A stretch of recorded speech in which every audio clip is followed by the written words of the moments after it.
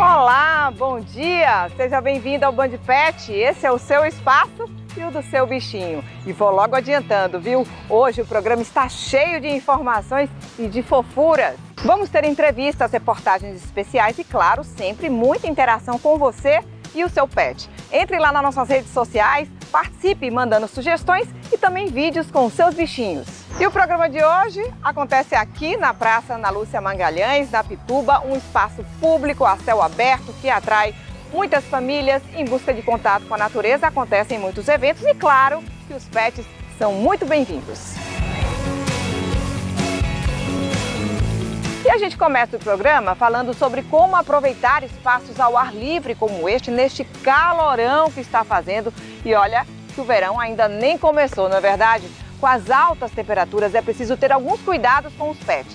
O repórter Felipe Soares mostra pra gente quais são esses cuidados. É com você, Lipe.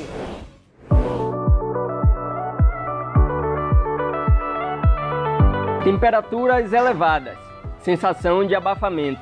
Se tá quente pra gente, imagina para esses bichinhos. Essas são algumas características do verão que tem incomodado o mundo animal.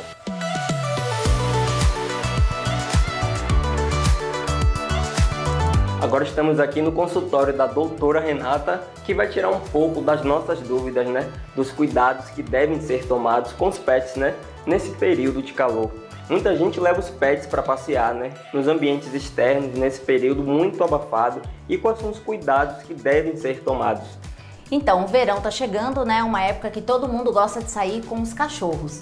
E é muito importante que a gente saia em períodos de menos calor, no início da manhã ou no final da tarde, hidratar bastante o seu pet, estar sempre vermifugado e vacinado, porque existe uma concentração muito grande de animais na região das praias, na região das praças também.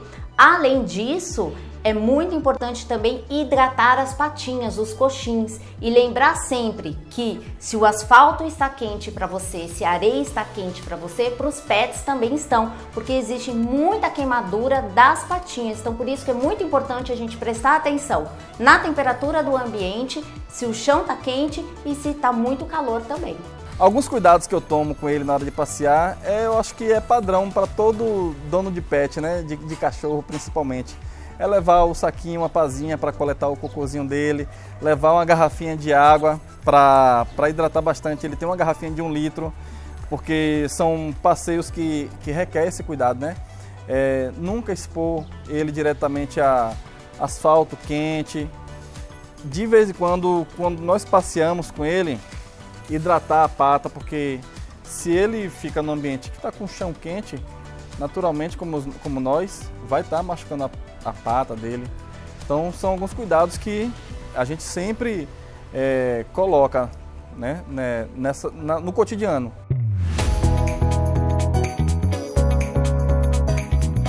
Os animais, eles, eles dão alguns sinais de quando está sentindo que o solo está quente? Sim, geralmente eles não querem andar na areia quente, no asfalto quente, eles recusam a caminhar. E mas infelizmente tem algumas pessoas que não entendem os movimentos deles, que não entendem que às vezes eles podem até chorar um pouquinho ou parar, ficar naquela posição estátua e não querer sair do lugar porque eles estão sentindo as altas temperaturas. E além do, dos horários ideais, né, para esse passeio com os pets, quais são os cuidados que devem ser tomados durante esses passeios, né? Porque muita gente leva os pets para passear nos horários certos mas não hidratam os animais, né? não levam água. E é importante manter os animais hidratados, não é isso? Isso mesmo. Hidratação é importantíssimo. Se a gente se hidrata neste calor, os animais também devem se hidratar nesse calor. Então, água de boa qualidade, pode dar água de coco também. Vocês podem fazer picolé de frutas para os animais. Então existe uma variedade de coisas que a gente pode estar fazendo sempre para hidratar o seu pet. Nesse período de calor, eu tenho um hábito de caminhar cedo com ele, porque como é uma raça que tem uma dificuldade respiratória e ele se cansa muito com o calor, então costumo sair cedo, levar a praia para passear, banho de mangueira com frequência. E volta e meia eu permito que ele tome um banho de piscina também. E agora viemos aqui na rua saber como as pessoas se comportam com seus pets diante do sol e do calorzão que está fazendo em Salvador. Vem comigo! Gel, fala pra gente quais são os desafios, né? Para passear com as cadelinhas nesse período de calor, né? Que já tá abafado pra gente. Imagino que para elas é muito mais difícil. Fala pra gente quais são os desafios que você enfrenta para estar tá passeando com elas nesse período tão abafado. Com certeza, muitos desafios, inclusive porque tem muitos tutores que não têm a consciência de que o pets, no, no, de um modo geral, é, tem os horários específicos para andar, principalmente agora nesse calor que está fazendo né, demais em, em todo lugar. Então, assim, é, cães, determinados cães, principalmente os braxcefálicos, né, que são os pugs, bulldogs, é, o que eu vejo é muita gente é, saindo em horários de meio-dia, uma hora da tarde, passeando com eles no, no, chão quente. Isso queima a patinha deles. Muita gente acha que não, não sabe disso. Então, assim, é, é, muito difícil hoje em dia, porque tem muita gente que não tem essa consciência. Elas são braxcefálicas, né? Então, é, a, a curto é, não tem muito focinho, então elas têm uma dificuldade maior de respirar. Então, o que é que eu faço? Eu procuro né, é, os passeios mais curtos, não passear assim bastante tempo, é, né? A gente encurta mais os passeios. É, o que a gente pode fazer, os horários, é, não passar das 9 horas, nem, nem antes das 4, 5 horas eu diria, né? Nesse calor. É, levar água, muita água. Eu, inclusive, coloco gelo na água. É, em casa, é, aumentar a quantidade de potinhos né, distribuir pela casa potinhos, sempre trocar para a água ficar limpinha. É, a gente pode colocar gelo também. O que eu faço muito é picolé de suquinho. Eu pego a, a melancia, bato, aí coloco na forminha, ou então naquela forminha de picolé ou na de gelo e oferto também. É uma forma, inclusive, até de um enriquecimento ambiental, porque ali elas estão brincando, né? No gelinho, no, no picolé, e também se alimentando e se refrescando, né? Que é muito importante se hidratar. Primeiro a gente, eu faço passeio com ele sempre muito cedo, onde o sol ainda não está forte. Então agora é um horário que a gente já, já estaria indo embora, tá, tá indo embora por causa justamente do calor. Além da patinha, né, de, de queimar a patinha, esse tipo de coisa. E chegando em casa, a primeira coisa é, é botar ele para beber uma aguinha, ficar num lugar confortável, é, fresco, para ele não, não, não, não ficar estressado.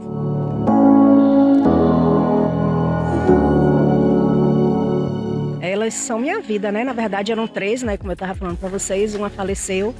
E elas, assim, elas dão muito amor. Só quem tem, quem sabe, eu já fico com a voz embargada. É, é, que, é que tem essa noção, né? Do amor que, que eles têm pela gente. E eu acho que o mínimo, né? Que a gente pode dar de volta é retribuir esse amor cuidando é da melhor forma possível, né? E a gente vai continuar falando sobre os cuidados com os animais neste calor. Aqui do meu lado está a secretária de Sustentabilidade, Bem-Estar e Proteção Animal da Prefeitura de Salvador, Marcele Moraes. Marcele, obrigada por estar aqui com a gente. Eu que agradeço. Obrigada, Carol. Olha só, a gente está vendo aí, né, falando sobre essa questão do calor, porque está muito quente. Tá demais. E o calor promete, o verão promete ser ainda mais quente. Sim. E aí, claro, a preocupação com os animais, principalmente com os de rua, né, Marcele? muito importante a gente pensar sobre isso, né? Nesse calor, nesse verão. Nós da Prefeitura de Salvador, pensando nisso, a gente tem bebedouros ecológicos em todos os parques da cidade, para que a gente possa promover justamente a hidratação desses animais, né? Mas você que mora numa comunidade, pegue uma vasilha de margarina, coloque um pouquinho de água na frente da sua porta, que você pode estar ajudando o animal de rua a se hidratar. É muito importante também a gente ter essa visão, né? É, então a gente também promove toda essa conscientização da população, instrução da população para que eles entendam. E você que tem um pet em casa, muito cuidado, porque tá calor. Então, olhe o horário direitinho que você vai passear. Não passeie em sol a pino, busque passear hoje de manhã cedo ou final da tarde. O chão da rua é quente, as queima as patinhas. patinhas. Então não existe isso. Outra coisa, animal que tem aquelas coleiras de aço tem algumas pessoas que usam. Aquele negócio esquenta como que. Então assim, fica fervendo, aquilo ali pode causar uma queimadura. Então evite esse tipo de coleira, sobretudo nesse calor. Eu sei que tem alguns animais que eles têm uma tendência a puxar mais enfim, o, o, o, dono, o tutor, ele opta por essas coleiras, mas tenha muito cuidado porque elas queimam o animal, então ele pode criar várias queimaduras aqui nessa região do pescoço. Eu queria também falar, Marcelo, sobre um outro trabalho também da Secretaria em relação também aos animais de rua com a arrecadação de rações, né? Sim, a gente tem um programa na Secretaria que é ração para quem precisa. Como é que funciona esse programa? A gente pensou em ajudar os protetores de animais, né? ONGs, que tem uma quantidade de animais grandes e muitas vezes é custoso administrar toda essa quantidade de ração.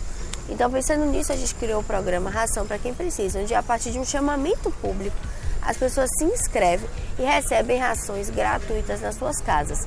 É, conseguimos ajudar no mês passado mais de 2 mil animais, que é um quantitativo muito grande. Inclusive, é um programa inédito, não existe nenhum outro lugar do país onde a gente está aqui promovendo a conscientização né, da proteção animal e servindo de exemplo e de inspiração para outras cidades. Então é um programa muito importante. E quem puder, quem quiser participar, como é que faz para poder tentar como arrecadar? É que faz? Bom, a gente faz a, a, o chamamento público, ele ocorre quatro vezes ao ano, onde a pessoa se inscreve através do site da CECIS, que eu vou deixar, que o pessoal aqui vai deixar aqui embaixo vai o site. aqui na tela.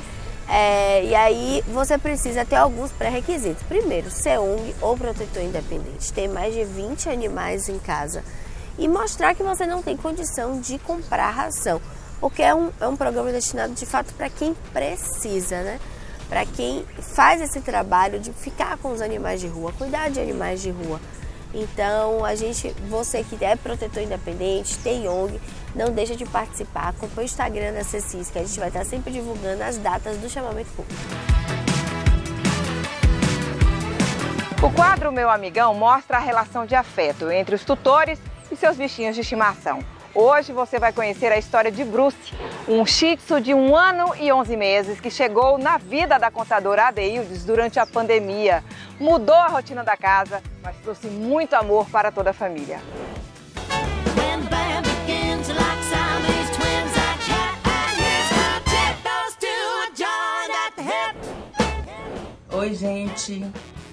Vou falar um pouquinho sobre o meu pet. Esse daqui é o Bruce, minha pimentinha. Né, mãe? Então, é... eu cresci com animais, né? Meus pais sempre teve cachorro, papagaio, periquito, é... coelho, vários animais. Então, eu gosto muito de animais. E aí, eu, quando eu vim morar nesse apartamento, eu nunca pensei em ter bicho. Né? E aí, durante a pandemia, me veio o desejo. Acho que muitas pessoas, durante a pandemia, elas adotaram pet, né? Ou compraram, muitas pessoas fizeram isso. Mas no meu caso, eu ganhei. Um pouquinho depois da pandemia, né? Ele já vai fazer dois anos, essa coisa fofa. Então aí foi um desafio, porque dentro do apartamento, o cachorro, né? Vem aquele terror. Ah, espaço pequeno, tem quintal. Ah, essa raça de cachorro é tranquilo para criar dentro do apartamento. É tranquilo até os dentinhos começarem a nascer. Então ele ruía meus móveis. E aí faz tudo que caía no chão, ele destruía. Até hoje destrói, né? Porque o que tá no chão é dele. Dá um pouquinho de trabalho, né? Essa, essa pelagem toda a gente tem que pentear várias vezes durante a semana para poder ficar arrumadinho, né? Mas para mim compensa, porque o carinho, né? A alegria cada vez que a gente chega em casa é uma festa. Né? Ele é companheiro, se a gente ficar doente, ele fica ali no pé da gente né, o tempo todo. E onde eu vou, ele vai atrás. É minha sombra aqui. E sem falar que ele é muito amoroso. Né? Nas, na rua, ele fala com as pessoas, ama a criança, ele brinca com as crianças, ele fica doido quando ele vê uma criança, né? As crianças aqui no condomínio todo mundo já conhecia, ele chama ele da varanda. Ele fica doido para descer para brincar. Então, assim, dá trabalho, mas eu amo meu pet. Né, mamãe? Esse aqui é meu filhinho de quatro patas. Essa coisa fofa. Beijo, tchau, tchau, gente. Muito legal, né? Essa relação entre Bruce e Adeildes, essa relação de carinho e afeto. E você também pode participar do quadro Meu Amigão. Manda pra gente um vídeo contando, mostrando como é essa sua relação de afeto, de carinho, de amor com você e o seu bichinho. No próximo bloco, você confere dicas de um adestrador para te ajudar a educar o seu cãozinho. Não saia daí. A gente vai para um rápido intervalo com vídeos que viraram sucesso na internet. Meu cachorro come tudo check, parte 3. Máscara, moeda, limão, batata. Batata não! La batatita não! Não a batatita! La batatita! La batatita!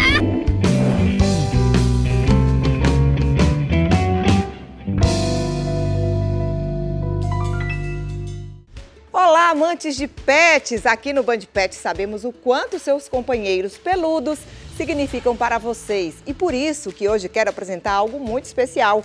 Amigo Pet, uma assistência pet 24 horas que vai além de um simples plano de saúde para o seu animalzinho. Com o Amigo Pet, seu amigo de quatro patas terá acesso a consultas, exames, cirurgias, internação e até castração. E mais, oferecemos serviços de hotel pet, atendimento online, concierge veterinário e para os momentos difíceis, até mesmo funeral. Sabemos que emergências acontecem sem aviso prévio e muitas vezes nos pegam desprevenidos financeiramente. E é por isso que Amigo Pet está aqui para ajudar, garantindo que seu pet receba o cuidado necessário sem pesar no seu bolso. Amigo Pet possui planos a partir de R$ 2,66 ao dia. Não deixe seu pet desprotegido, leia o QR Code na tela ou envie uma mensagem para o número 3199548 4725 e fale agora mesmo com o consultor Amigo Pet, porque quem ama, protege com Amigo Pet.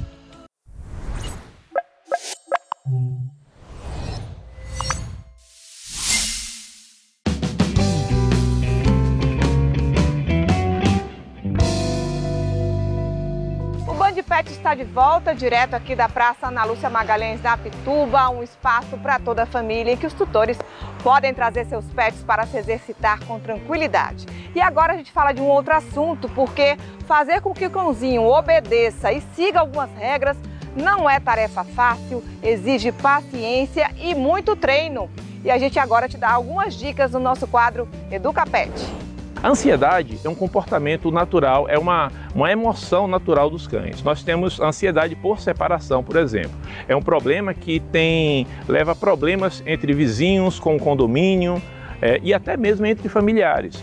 Quando os donos saem, o cão começa a desenvolver uma dependência emocional dos donos. E aí o cão começa a apresentar alguns tipos de comportamento, como vocalização excessiva, aí o condomínio liga, o vizinho reclama, é, fazer xixi em lugares indevidos, em cima da cama, em cima de sofá, por ficar sozinho. Destruição de imóveis, por exemplo, por ficar sozinho. Então, é, como resolver isso? O ideal é prevenção, é o que eu vou falar agora aqui para vocês. Então, o que a gente deve fazer?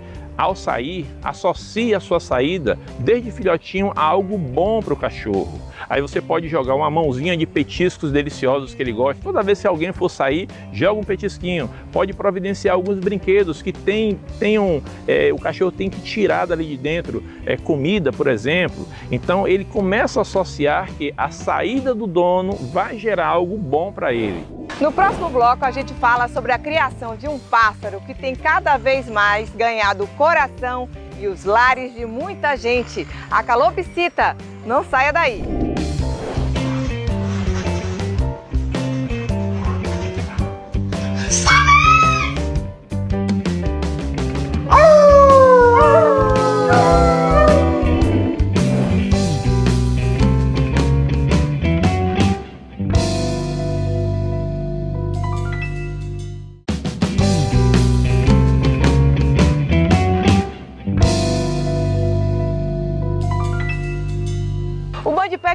Volta aqui da Praça Ana Lúcia Magalhães. Lembrando que você pode participar do nosso programa. Mande dúvidas, sugestões, entre lá nas nossas redes sociais. E agora, o repórter Felipe Soares mostra histórias de pessoas que passaram a criar uma ave cheia de carisma. Eu estou falando da calopsita. Muita gente cria como animal de estimação e essa é uma ave cheia de personalidade. É com você, Lipe.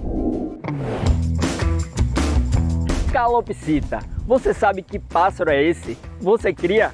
Por isso viemos aqui hoje nessa clínica em Lauro de Freitas para mostrar um pouco do mundo desse animal. Vem com a gente!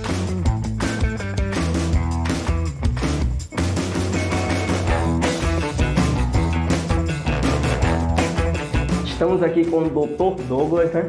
E vimos falar um pouco sobre esse universo das calopsitas, né? que é uma ave australiana, mas podemos dizer que além dos cachorros é o pet queridinho dos brasileiros, né? Pode explicar pra gente como é que funciona, né, a procura aqui é, para ter os cuidados, né, com as calopsitas aqui na clínica? Sim, sim. Bom, as calopsitas eu considero elas agora como os queridinhos da, da família brasileira, né? Elas são animais que possuem uma energia muito boa, elas são muito alegres, elas são muito calorosas. Elas são atualmente consideradas as aves de companhia. Eu sempre tive cachorros e aí eu perdi um deles. Um, sempre tem aquele que marca mais a gente, né? Então eu, eu, tinha uma cadelinha chamada Branca. Ela faleceu com 14 anos e eu disse: não, não vou ter mais. E conversei com uma, uma prima minha, na verdade, que tem calopsita. E disse: olha, eles são muito companheiros. E eu fiz: bom, eu vou é, criar uma calopsita. E aí comprei uma calopsita e ele ficou comigo por 11 anos, Frederico, o amor da minha vida. E faleceu também recentemente, então também eu ainda tô assim, foi agora, é bem recente.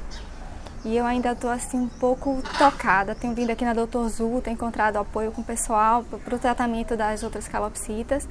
Mas é um, é um pet assim sensacional, companheiro, amigo, alegre, não tem tempo ruim em casa.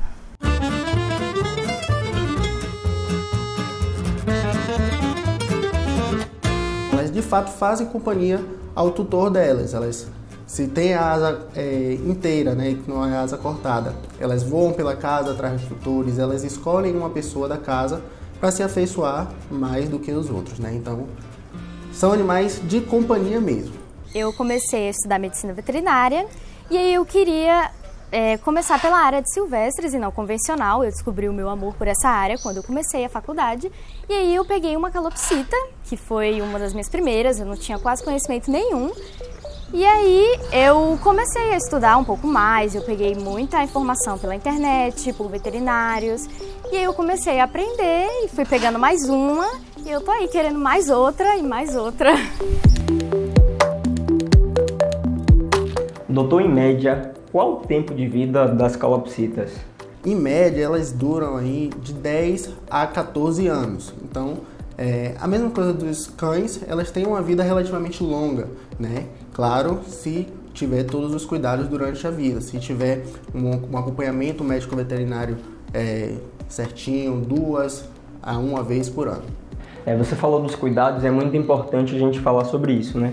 como é que funciona essa questão da alimentação né, das calopsitas. Tem um, uma alimentação ideal ou porque tem muita gente que alimenta de qualquer maneira, né? Tem uma alimentação específica para as calopsitas ou como é que funciona isso? A alimentação é um dos pontos que são fundamentais para a manutenção da vida sadia das calopsitas, né? Como você mesmo falou, muitas pessoas elas não tratam de maneira adequada da alimentação delas.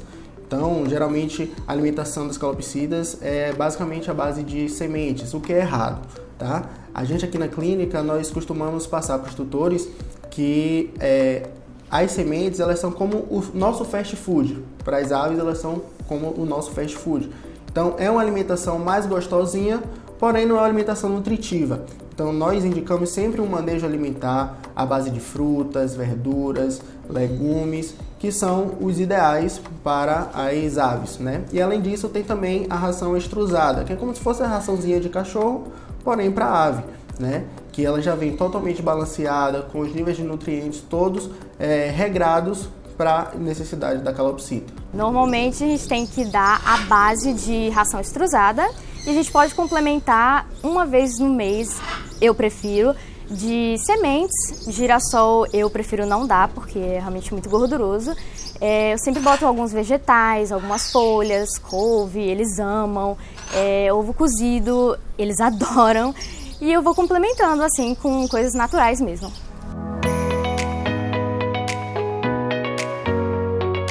Mesmo com alimentação ideal, é importante alimentar nos horários específicos. Existem casos de sobrepesos na vida das calopsitas? Existem sim, existem sim, principalmente os animais que são é, alimentados à base de semente. Né? A semente é muito rica em óleo e óleo no organismo tanto das aves como da gente também é metabolizado e se transforma em gordura. Tá? Essa gordura ela pode ser é, depositada tanto na, no tecido adiposo, no caso a barriga, como em órgãos internos, principalmente o fígado, né, que é um dos órgãos vitais para a vida do, das calopsitas. Então, bastante cuidado com a alimentação é muito importante. Precisa de revisão pelo menos uma vez por ano. É importante. Aqui na Doutor Zu eles fazem um exame chamado PCR, que aí é um quadro, é um exame que pega todo o quadro aviário, é bem importante para a manutenção, porque são muito frágeis, então qualquer coisinha. E quem tem a experiência de ter uma calopsita sabe como a gente se apega. A pessoa que pode dizer assim, ah, eu não me apego ao bicho, mas tem uma calopsita, faça esse esse teste? Minha rotina com eles é que de manhã eles ficam no viveiro por umas 4 horas mais ou menos, assim que acorda. Quando eu levanto, eu já solto eles. Normalmente eles preferem ficar no meu quarto, que é onde eu fico mais. E eles ficam soltos lá. É, geralmente eles ficam ou nas cadeiras ou no chão. Eles têm muitos brinquedos também, puleiros. E ficam a tarde toda lá até o horário de dormir.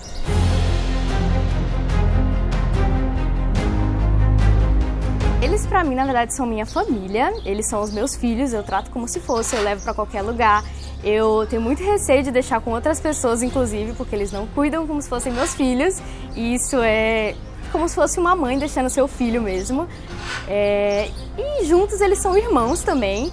Minha família toda trata como se fossem os netos deles, meus pais, por exemplo. E minha irmã trata como se fosse o sobrinho dela. Inclusive, eles têm dindos. Gente, olha, não é só a questão do, do, do companheirismo, é o ensinamento também da continuidade da vida, da, da impermanência. Ó, mãe, eu tô aqui com você, vou trazer essa alegria todo dia que você chegar ao trabalho, mas uma hora eu tenho que ir embora. Então a gente aprende todos os dias com ele. É uma coisa, você se torna melhor. Engraçado que as calopsitas ficam na varanda, e aí quando eu chego com o carro, elas já atiçam os cachorros. Olha, mamãe chegou! É muito engraçado, assim, é um não tem tempo ruim em casa. Eles são, são eu acho que são anjos mesmo enviados assim para ajudar a gente a se melhorar um pouquinho.